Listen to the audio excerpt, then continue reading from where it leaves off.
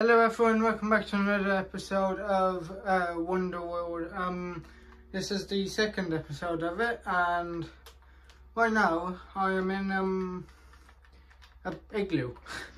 if you didn't see the last episode, I say go watch that because it kind of uh, shows why I'm here and how I got here. So I'm going to stop talking now and uh, go on with the episode.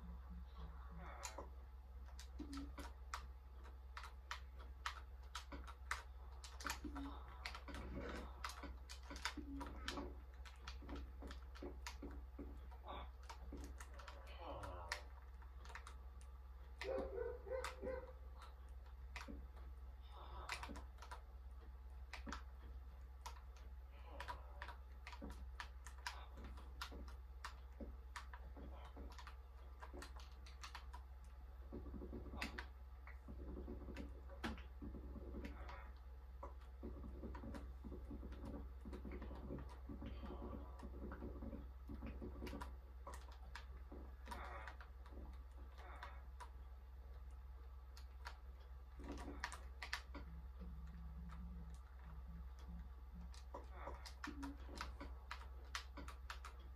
you.